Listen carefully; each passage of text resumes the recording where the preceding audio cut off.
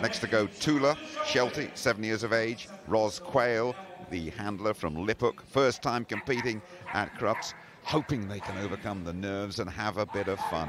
That, after all, is what is all about agility.